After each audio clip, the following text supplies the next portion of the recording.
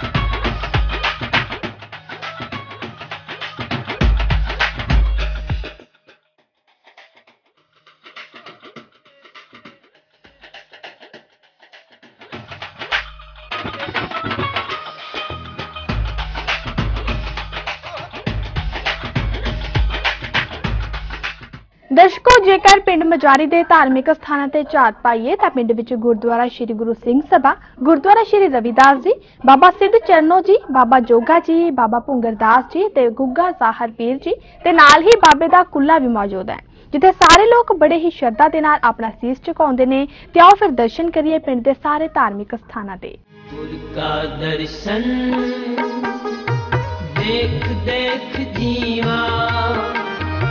ਗੁਰ ਕੇ ਚਰਨ। ਧੋਏ ਧੋਏ ਪੀਵਾ। ਗੁਰ ਕਾ ਦਰਸ਼ਨ। ਦੇਖ ਦੇਖ ਜੀਵਾ। ਇਹ ਗੁਰਦੁਆਰਾ ਸਮੂਹ ਸੰਗਤ ਵੱਲੋਂ ਪਿੰਡ ਦੇ ਵਿੱਚ ਸਿੰਘ ਸਭਾ ਗੁਰਦੁਆਰੇ ਦੇ ਨਾਂ ਤੇ ਚੱਲ ਰਿਹਾ ਹੈ। ਇਸ ਦੇ ਵਿੱਚ ਬਹੁਤ ਸਾਰੇ ਐਨ ਆਰ ਆਈ ਵੀਰਾਂ ਨੇ ਸਹਿਯੋਗ ਦੇ ਕੇ ਇਸ ਗੁਰਦੁਆਰੇ ਨੂੰ ਇੱਥੇ ਤੱਕ ਪਹੁੰਚਾਇਆ ਹੈ। ਇਹ ਸਾਰੀ ਕਿਰਪਾ ਤਾਂ ਗੁਰੂ ਮਹਾਰਾਜ ਜੀ ਦੀ ਹੈ।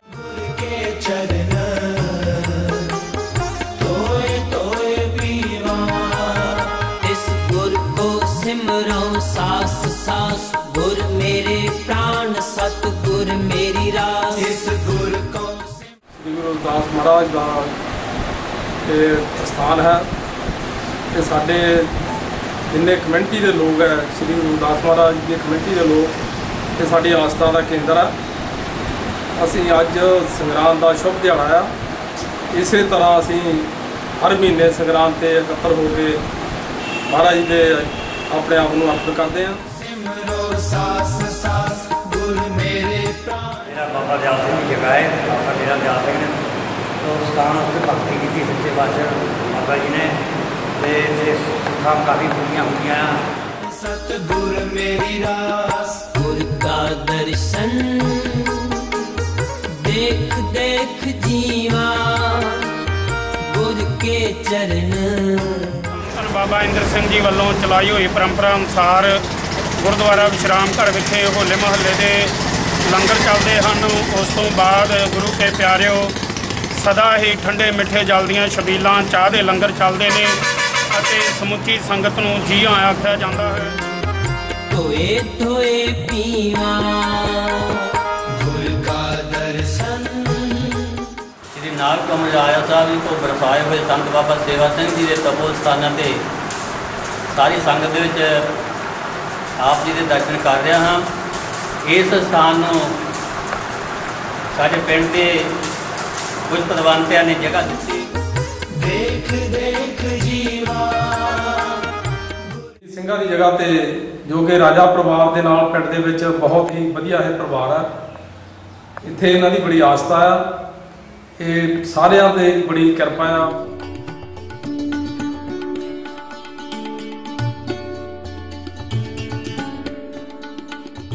ਤਾਂ ਧੰਨ ਬਾਬਾ ਜੇਠਾ ਜੀ ਦੇ ਜਗ੍ਹਾ ਤੇ ਚੜ੍ਹਦੀ ਕਲਾ ਚੈਨਲ ਦੀ ਟੀਮ ਦੇ ਨਾਲ ਅਸੀਂ ਆ ਗਏ ਹਾਂ। ਬਾਬਾ ਜੇਠਾ ਜੀ, ਬਾਬਾ ਰਾਮਨ ਜੀ ਇਹ ਬਹੁਤ ਹੀ ਇਤਿਹਾਸਕ ਅਤੇ ਪੁਰਾਣੀਆਂ ਜਗ੍ਹਾਵਾਂ ਹਨ।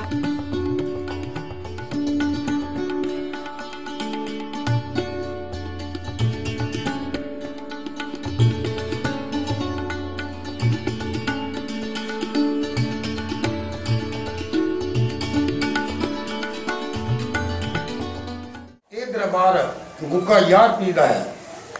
ਜਿਹਨਾਂ ਦਾ ਜਨਮ ਰਾਜਸਥਾਨ ਵਿੱਚ ਹੋਇਆ। ਇਹਨਾਂ ਦੀ ਮਾਤਾ ਦਾ ਨਾਮ ਮਾਤਾ ਵਾਸ਼ਲ ਸੀ, ਮੈਂ ਇਸ ਪੀਰ ਦਾ ਸੇਵਾਦਾਰ ਪਿੰਡ ਮਜਾਰੀ ਤੋਂ ਇਹਨਾਂ ਪੀਰਾਂ ਦੀਆਂ ਰੱਖੜੀ ਵਾਲੇ ਦਿਨ ਅਸੀਂ ਸਾਰੇ ਰਲ ਮਿਲ ਕੇ ਨੌ ਕਰਾਂ ਕਰੀਦੀਆਂ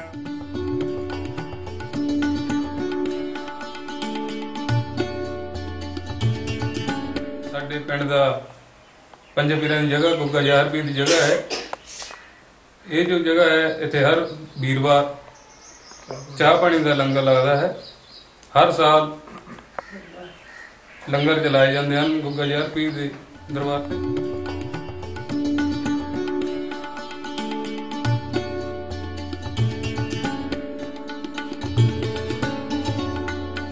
ਬਾਬਾ ਸਿਰ ਚਾਨੋ ਦੀ ਜਗ੍ਹਾ ਤੇ ਆਏ ਹਾਂ। ਇਹ ਜੋ ਮਹਾਂਪੁਰਸ਼ਾਂ ਦੀ ਜਗ੍ਹਾ ਹੈ, ਬਲੀਆਂ ਦੀ ਜਗ੍ਹਾ ਹੈ ਇਹਨਾਂ ਨੇ ਕ੍ਰਿਸ਼ਨ ਮਹਾਰਾਜ ਦੇ ਨਾਲ 21 ਦਿਨ ਕੁਸ਼ਤੀ ਕੀਤੀ ਜੋ ਪਿੰਡਾਂ ਦੇ ਵਿੱਚ ਛਿੰਝਾਂ ਪੈਂਦੀਆਂ ਹਨ ਉਹ ਇਸ ਤੋਂ ਬਾਬਿਆਂ ਦੇ ਅਹ, ਆਸ਼ੀਰਵਾਦ ਤੋਂ ਹੀ ਉਹ ਪਰੰਪਰਾ ਚੱਲੀ ਆ ਜਾ ਰਹੀ ਆ। ਤੇ ਜਿਹੜੇ ਪਸ਼ੂ ਪਿੰਡ ਦੇ ਪਸ਼ੂ ਮਾਲ ਡੰਗਰ ਉਹਨਾਂ ਦੀ ਜਿਹੜੀ ਸੁੱਖ ਆ ਉਹ ਅਸੀਂ ਇਹਨਾਂ ਦੇ ਰੋਟ ਮੰਡੀ ਰਾਹੀਂ ਤੇ ਮੰਡੀ ਰਾਹੀਂ ਦੇ ਕੇ ਉਹ ਅਸੀਂ ਮਨਾਉਂਦੇ ਆ। ਇਹ ਸਾਡੇ ਪੁਰਾਣੇ ਬਜ਼ੁਰਗਾਂ ਦੀ ਜਗ੍ਹਾ ਹੈ ਤਪੱਸੀ ਬਾਬਾ ਘੁੰਗਰਦਾਸ ਦੀ ਆ। ਇਹਨਾਂ ਨੇ ਇੱਥੇ ਬਹੁਤ ਸਾਲ ਰਹਿ ਕੇ ਤਪੱਸਿਆ ਕੀਤੀ ਆ ਤੇ ਇਹਨਾਂ ਦਾ ਹਰ ਸਾਲ ਵਧੀਆ ਤਰੀਕੇ ਨਾਲ ਇਹਨਾਂ ਦਾ ਦਿਨ ਮਨਾਇਆ ਜਾਂਦਾ ਹੈ। ਧਾਰਮਿਕ ਸਥਾਨਾਂ ਦੇ ਦਰਸ਼ਨ ਕਰਨ ਤੋਂ ਬਾਅਦ ਹੁਣ ਅਸੀਂ ਤੁਹਾਨੂੰ ਲੈ ਕੇ ਚੱਲਦੇ ਹਾਂ ਪਿੰਡ ਮਜਾਰੀ ਦੇ ਪ੍ਰਾਇਮਰੀ ਅਤੇ ਮਿਡਲ ਸਕੂਲ ਵਿੱਚ, ਜੋ ਕਿ ਬਹੁਤ ਹੀ ਵਧੀਆ ਬਣਿਆ ਹੋਇਆ ਹੈ। ਤੇ ਆਓ ਫਿਰ ਗੱਲਬਾਤ ਕਰਦੇ ਹਾਂ ਸਕੂਲ ਦੇ ਅਧਿਆਪਕਾਂ ਦੇ ਨਾਲ ਤੇ ਜਾਣਦੇ ਹਾਂ ਕਿ ਸਿੱਖਿਆ ਦਾ ਮਿਆਰ ਉੱਚਾ ਚੁੱਕਣ ਲਈ ਉਹਨਾਂ ਵੱਲੋਂ ਪੜ੍ਹਾਈ ਦੇ ਨਾਲ-ਨਾਲ ਬੱਚਿਆਂ ਨੂੰ ਹੋਰ ਕੀ ਵਿਦਿਆ ਦਿੱਤੀ ਜਾ ਰਹੀ ਹੈ।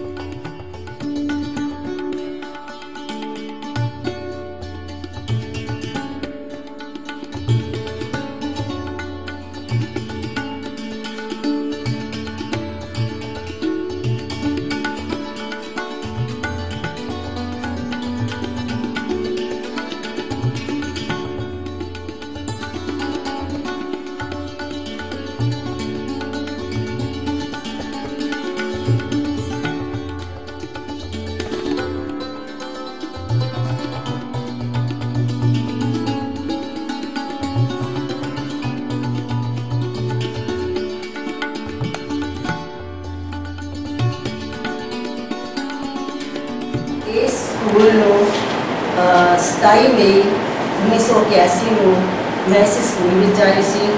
ਉਦੋਂ ਹੀ ਇਹ ਸਕੂਲ ਪੰਜਵੀਂ ਤੋਂ 8ਵੀਂ ਤੱਕ ਅਪਗ੍ਰੇਡ ਹੋਇਆ ਸੀ।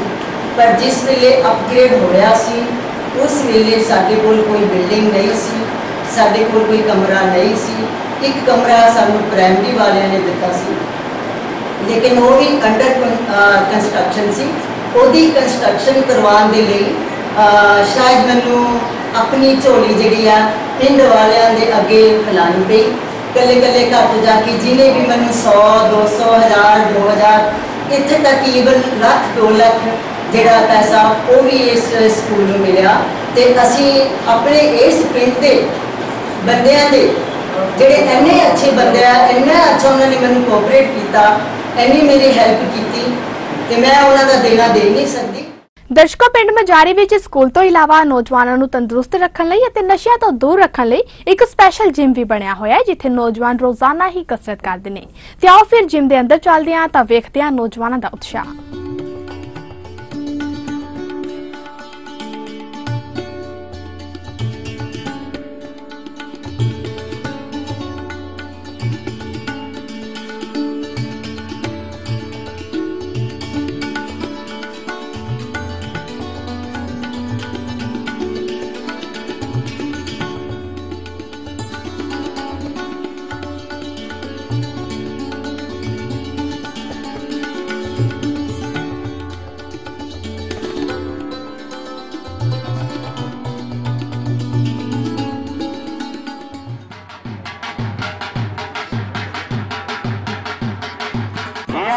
ਮਾਮਾ ਪੁੱਤਰ ਕਿ ਬਾਤ ਧਰਤੀ ਪੰਜਾਬ ਦੀ ਹੈ, ਤੇਰੇ ਗੱਭਰੂ ਸ਼ੈਲ ਸ਼ਬੀਲੇ ਨੇ ਬਿਜਲੀ ਤੋਂ ਵੱਧ ਫਰਤੀਲੇ ਨੇ, ਇਹਨਾਂ ਕੀਲੇ ਨਾਗ ਜਰੀਲੇ ਨੇ ਕਿ ਚੱਲਣ ਝਾਲ ਜਨਾਬ ਦੀ ਹੈ ਬਾਤ ਧਰਤੀ ਪੰਜਾਬ ਦੀ ਹੈ, ਤੇਰੇ ਗੱਭਰੂ ਸ਼ੈਲ ਸ਼ਬੀਲੇ ਨੇ। ਆ ਬੱਲੇ ਬੱਲਾ ਆ ਬਾਵੇ ਬਾ ਮੈਂ ਕੇਵਲ ਰਾਮ ਸਰਪੰਚ ਪਿੰਡ ਮਜਾਈ ਤੋਂ ਹਾਂ। ਅੱਜ ਸਾਡੇ ਪਿੰਡ ਦੀ ਸਿੰਝ ਦਾ ਮੇਲਾ ਜੇੜ ਦੇ ਜਿੱਥੇ ਵੀਰਵਾਰ ਹਰ ਸਾਲ, ਜਿੱਥੇ ਵੀਰਵਾਰ ਮਨਾਇਆ ਜਾਂਦਾ ਹੈ, ਪਿੰਡ ਦੇ ਸੰਯੋਗ ਨਾਲ, ਸਾਰੇ ਬੜੇ ਧੂਮਧਾਮ ਨਾਲ ਇਹ ਸਿੰਝ ਮੇਲਾ ਕਰਾਇਆ ਜਾਂਦਾ ਹੈ।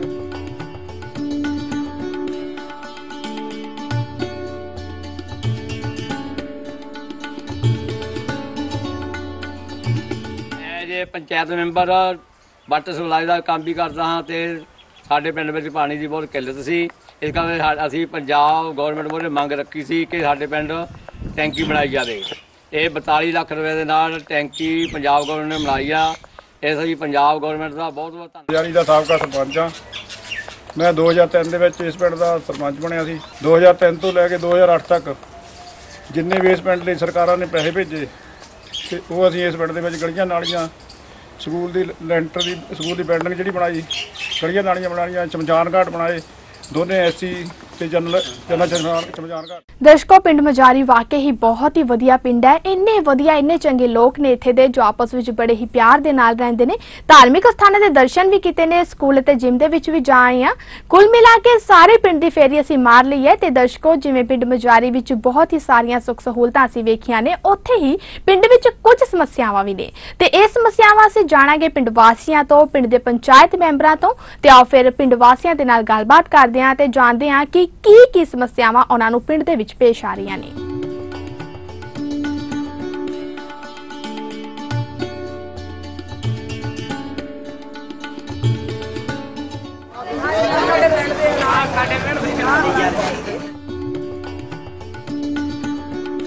ਸਾਡੇ ਪਿੰਡ ਵਿੱਚ ਜੋ ਕਿ ਨਸ਼ਿਆਂ ਦਾ ਬਹੁਤ ਮਾੜਾ ਹਾਲ ਹੈ, ਸਾਰੇ ਮੁੰਡੇ ਨਸ਼ੇ ਕਰਦੇ ਹਨ।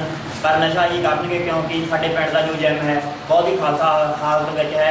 ਇਸ ਕਰਕੇ ਸਾਨੂੰ ਨਾ ਕੋਈ ਬਿਲਡਿੰਗ ਦਾ ਪ੍ਰਬੰਧ ਹੈ, ਨਾ ਹੀ ਕੋਈ, ਇਹ ਬੇਡ ਦਾ ਪ੍ਰਬੰਧ ਹੈ, ਸਾਰਾ ਬੇਡ ਅਸੀਂ ਆਪ ਇਕੱਠਾ ਕੀਤਾ ਹੈ ਐਨ ਆਰ ਆਈ ਵੀਰਾਂ ਦੇ ਸਹਿਯੋਗ ਦੇ ਨਾਲ। ਇਸ ਡਿਸਪੈਂਸਰੀ ਦੀ ਹਾਲਤ ਬਹੁਤ ਹੀ ਖਸਤਾ ਹੈ। ਮੈਂ 92 ਤੋਂ ਲੈ ਕੇ ਅੱਜ ਤੱਕ ਇਹਦੇ ਵਿੱਚ ਬਹੁਤ ਹੀ ਆਪਣੀਆਂ ਅਪ ਮੋਸਟ ਐਫਰਟਸ ਦੇ ਨਾਲ ਇੱਥੇ ਇਸ ਡਿਸਪੈਂਸਰੀ ਨੂੰ ਚਲਾਇਆ ਹੈਗਾ। ਪਰ ਮੇਰੀ ਹੁਣ ਜਿੱਦਾਂ ਬਸ- ਬਰਸਾਤਾਂ ਦੇ ਵਿੱਚ ਪਾਣੀ ਇੰਨਾ ਖੜ ਜਾਂਦਾ ਹੈ ਕਿ ਜਿਹੜਾ ਇੱਥੇ ਅੰਦਰ ਆਉਣਾ ਔਰ ਬਾਹਰ ਜਾਣਾ ਬੜਾ ਮੁਸ਼ਕਲ ਹੋ ਜਾਂਦਾ ਮੇਰੀ ਇਹ ਗੁਜ਼ਾਰਿਸ਼ ਹੈ ਸਰਕਾਰ ਨੂੰ ਕਿ ਇੱਥੇ ਸਾਨੂੰ ਗ੍ਰਾਂਟ ਦਿੱਤੀ ਜਾਵੇ ਵੱਧ ਤੋਂ ਵੱਧ। ਭਗਤ ਸਿੰਘ ਨਗਰ ਦੀ ਤਹਿਸੀਲ ਬੰਗਾ ਦਾ ਪਿੰਡ ਮਜਾਰੀ, ਜੋ ਕਿ ਇੱਕ ਬਹੁਤ ਹੀ ਵਧੀਆ ਪਿੰਡ ਹੈ, ਫਗਵਾੜਾ ਤੋਂ ਬੰਗਾ ਰੋਡ ਤੇ ਸਥਿਤ ਹੈ। ਪਿੰਡ ਵਿੱਚ ਜਾ ਕੇ ਦੇਖਿਆ, ਜੋ ਪਿੰਡ ਦੀਆਂ ਘਾਟਾਂ, ਪਿੰਡ ਦੀਆਂ ਪਰੇਸ਼ਾਨੀਆਂ ਲੋਕਾਂ ਦੀਆਂ ਸਮੱਸਿਆਵਾਂ ਇਸ ਪਿੰਡ ਵਿੱਚ ਬਹੁਤ ਜ਼ਿਆਦਾ ਹਨ। ਪਿੰਡ ਵਾਸੀ ਸਰਕਾਰ, ਪ੍ਰਸ਼ਾਸਨ ਤੋਂ ਬਹੁਤ ਨਾਰਾਜ਼ ਹਨ। ਖਾਸ ਕਰ ਨੌਜਵਾਨ ਲੜਕੇ ਜੋ ਕਿ ਪ੍ਰਸ਼ਾਸਨ ਸਰਕਾਰ ਤੋਂ ਬਹੁਤ ਨਾਰਾਜ਼ ਹਨ। ਸਰਕਾਰ ਨੂੰ ਬੇਨਤੀ ਕਰਦੇ ਹਾਂ ਜੋ ਪਿੰਡ ਦੀਆਂ ਸਮੱਸਿਆਵਾਂ ਹਨ, ਜਿਵੇਂ ਪਿੰਡ ਵਿੱਚ ਡਿਸਪੈਂਸਰੀ ਦੀ ਘਾਟ, ਪਿੰਡ ਵਿੱਚ ਜਿਮ ਦੀ ਘਾਟ, ਗਲੀਆਂ ਨਾਲੀਆਂ ਦਾ ਪਾਣੀ ਜੋ ਕਿ ਘਰਾਂ ਵਿੱਚ ਵੜ ਰਿਹਾ ਹੈ, ਉਹਨਾਂ ਦਾ ਸੁਧਾਰ ਕਰਨਾ, ਉਹਨਾਂ ਨੂੰ ਪੱਕਿਆਂ ਕਰਨਾ ਇਹ ਸਰਕਾਰ ਪ੍ਰਸ਼ਾਸਨ ਦੀ ਜ਼ਿੰਮੇਵਾਰੀ ਬਣਦੀ ਹੈ। ਅਸੀਂ ਸਰਕਾਰ ਨੂੰ ਬੇਨਤੀ ਕਰਦੇ ਹਾਂ, ਪ੍ਰਸ਼ਾਸਨ ਨੂੰ ਬੇਨਤੀ ਕਰਦੇ ਹਾਂ ਕਿ ਪਿੰਡ ਮਜਾਰੀ ਦੇ ਲੋਕਾਂ ਨੂੰ, ਲੋਕਾਂ ਦੀਆਂ ਜੋ ਮੇਨ ਸਮੱਸਿਆਵਾਂ ਹਨ, ਉਹਨਾਂ ਨੂੰ ਸੁਣ ਕੇ ਵਿਸ਼ੇਸ਼ ਗ੍ਰਾਂਟਾਂ ਜਾਰੀ ਕੀਤੀਆਂ ਜਾਣ ਤਾਂ ਕਿ ਇਸ ਪਿੰਡ ਦਾ ਵਿਕਾਸ ਹੋ ਸਕੇ ਤੇ ਜੋ ਕਿ ਬਹੁਤ ਹੀ ਜ਼ਿਆਦਾ ਜ਼ਰੂਰੀ ਹੈ। ਆਉਣ ਵਾਲੇ ਸਮੇਂ ਵਿੱਚ ਜੋ ਗੰਦਾ ਪਾਣੀ ਹੈ, ਮੱਛਰਾਂ ਦੀ ਭਰਮਾਰ ਹੈ, ਸਖਤ ਬਿਮਾਰੀਆਂ ਪੈਦਾ ਹੋ ਰਹੀਆਂ ਸਰਕਾਰ ਨੂੰ ਬੇਨਤੀ ਕਰਦੇ ਹਾਂ ਕਿ ਇਸ ਪਾਸੇ ਵਿਸ਼ੇਸ਼ ਧਿਆਨ ਦਿੱਤਾ ਜਾਵੇ। ਤੁਸੀਂ ਵੀ ਇਸੇ ਤਰ੍ਹਾਂ ਇਸ ਪ੍ਰੋਗਰਾਮ ਦਾ ਹਿੱਸਾ ਬਣ ਸਕਦੇ ਹੋ। ਹੇਠ ਲਿਖਣਾ ਨੰਬਰਾਂ ਤੇ ਸੰਪਰਕ ਕਰੋ। ਅਸੀਂ ਸਾਡੀ ਟੀਮ ਤੁਹਾਡੇ ਪਿੰਡ ਆਵੇਗੀ। ਤੁਹਾਡੀਆਂ ਸਮੱਸਿਆਵਾਂ, ਤੁਹਾਡੀਆਂ ਪਰੇਸ਼ਾਨੀਆਂ ਸਰਕਾਰ, ਪ੍ਰਸ਼ਾਸਨ ਦੇ ਅੱਗੇ ਰੱਖਣ ਦਾ ਇੱਕ ਯਤਨ ਕਰਾਂਗੇ।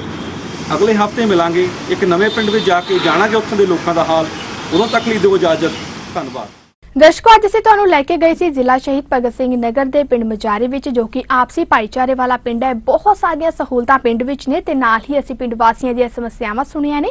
ਤੇ ਹੁਣ ਅਸੀਂ ਸਰਕਾਰ ਨੂੰ ਵੀ ਬੇਨਤੀ ਕਰਦੇ ਹਾਂ ਕਿ ਜਿਹੜੀਆਂ ਸਮੱਸਿਆਵਾਂ ਪਿੰਡ ਨੂੰ ਆ ਰਹੀਆਂ ਨੇ, ਉਹਨਾਂ ਨੂੰ ਹੱਲ ਕੀਤਾ ਜਾਵੇ। ਪਿੰਡ ਨੂੰ ਹੋਰ ਵਧੀਆ ਬਣਾਉਣ ਲਈ, ਪਿੰਡ ਦਾ ਵਿਕਾਸ ਕਰਨ ਲਈ ਗ੍ਰਾਂਟ ਵੀ ਇਸ ਪਿੰਡ ਨੂੰ ਦਿੱਤੀ ਜਾਵੇ। ਉਮੀਦ ਹੈ ਸਰਕਾਰ ਇਸ ਪਿੰਡ ਦੇ ਵਿਕਾਸ ਲਈ ਜ਼ਰੂਰ ਕੋਈ ਠੋਸ ਕਦਮ ਚੁੱਕੇਗੀ ਤੇ ਪਿੰਡ ਮਜਾਰੀ ਦੀਆਂ ਸਮੱਸਿਆਵਾਂ ਜਲਦ ਹੀ ਖਤਮ ਹੋਣਗੀਆਂ।